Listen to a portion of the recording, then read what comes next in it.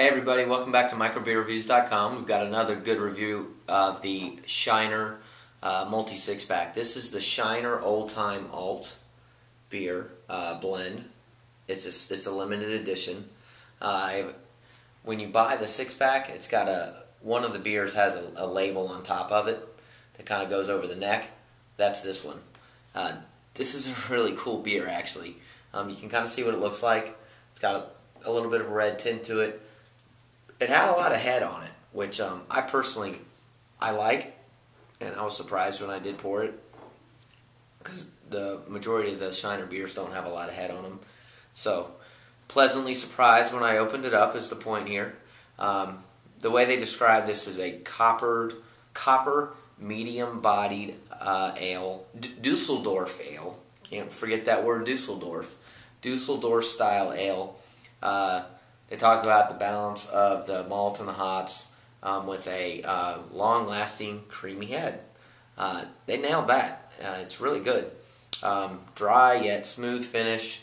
Uh, it's a small batch. They talk about that um, on the label. Uh, they talk about how it is a limited edition, uh, how the history of the, the brewery has been around for a long time.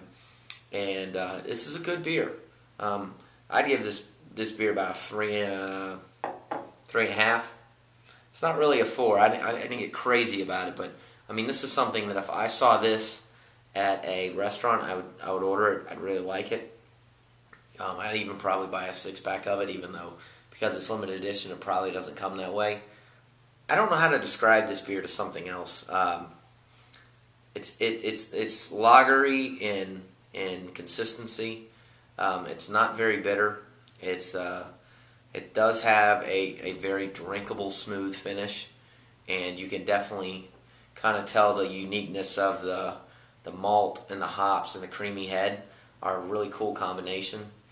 Um, that's, that's about all I can really nail it for you. Um, it's a good beer.